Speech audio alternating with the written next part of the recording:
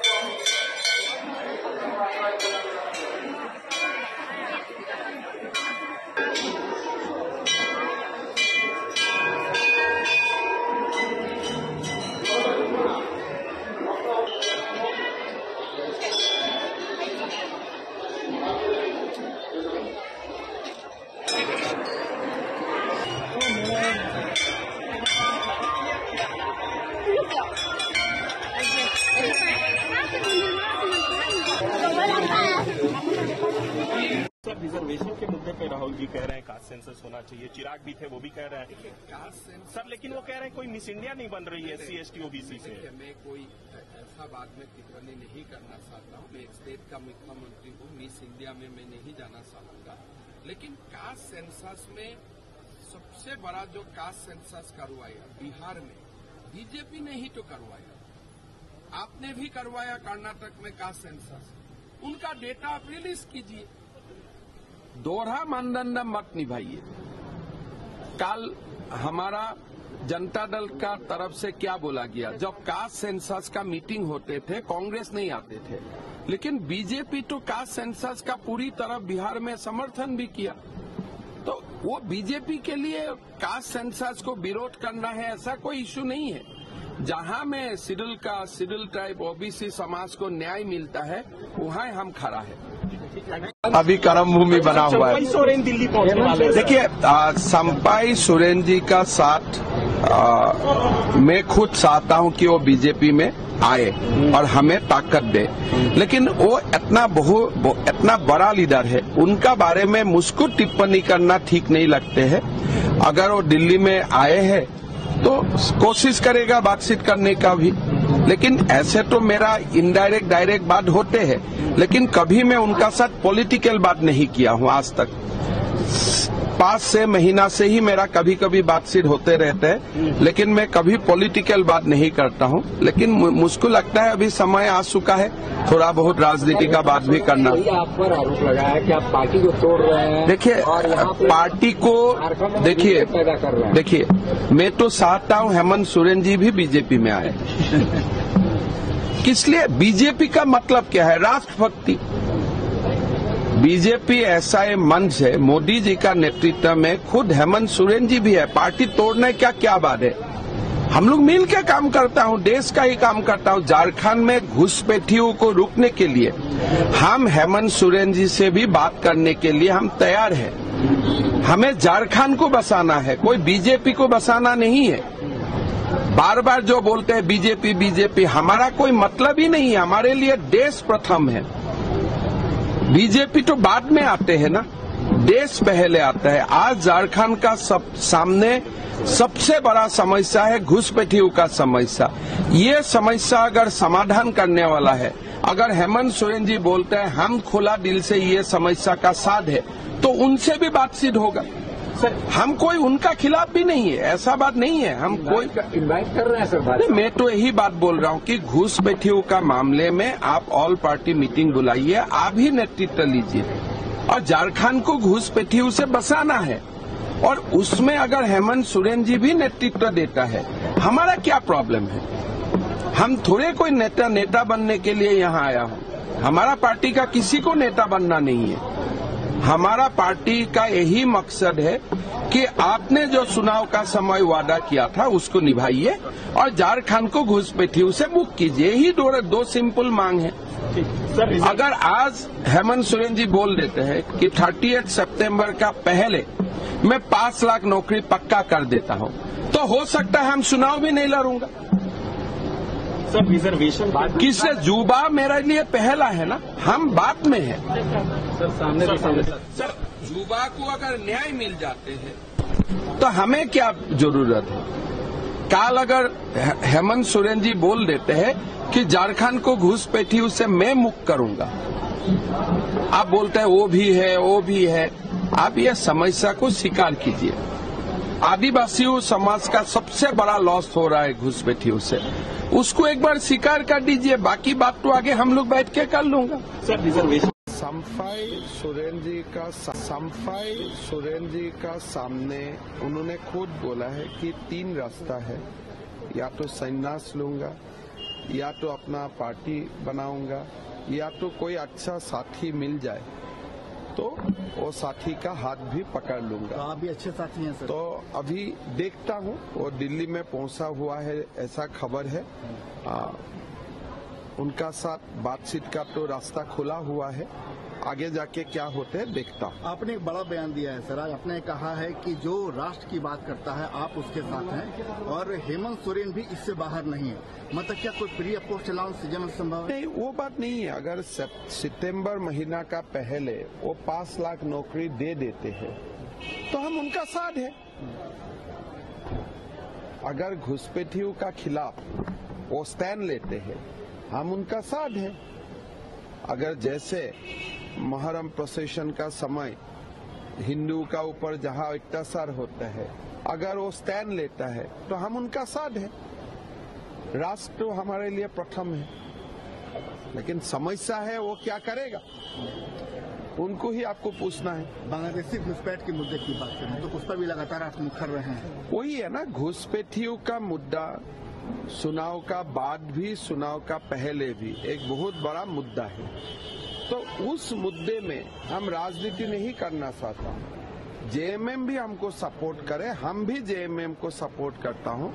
घुसपैठियों को झारखंड से बाहर निकालना है।